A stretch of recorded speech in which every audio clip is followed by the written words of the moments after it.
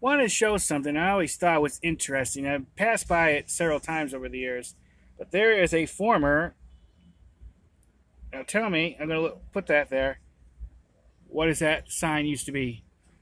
Well, if you said Blockbuster, you're correct. There used to be a Blockbuster here, and I guess they decided to just repurpose the sign and turn it, uh, call it Jay's Liquor. Now, the Blockbuster, I think I remember seeing. I think it was there. But the liquor place is like over here somewhere. So now there's like a Dollar Tree where I think I'm, I'm pretty sure. I could be wrong. That's where the, I'm pretty sure the Blockbuster was there. It's been so many years. I don't know.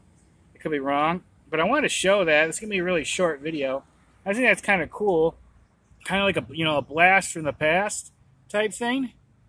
With Blockbuster being gone, even though I've heard that they're starting to come back a little bit which is really cool. I mean, it's just one of those things from my when I was younger. I remember Blockbuster. You know, I never really got a chance to rent really any movies there. It was always like a local video rental place. When I was younger, it was never really a Blockbuster around where I lived.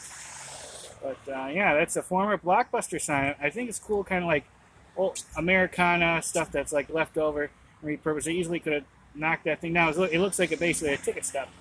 That's what it's supposed to um, look like yeah, I think this is kind of cool. Just wanted to show it. All right, nice watching. Oh, this is in, uh, I believe this is Lakeland, Florida, in case you want to know.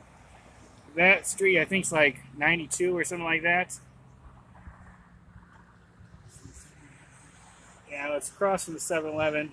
There's a Harvey's there and the McDonald's right there. So if you want to find it, that's where it is. I think or just look up Jay's Liquors. Jay's Liquor.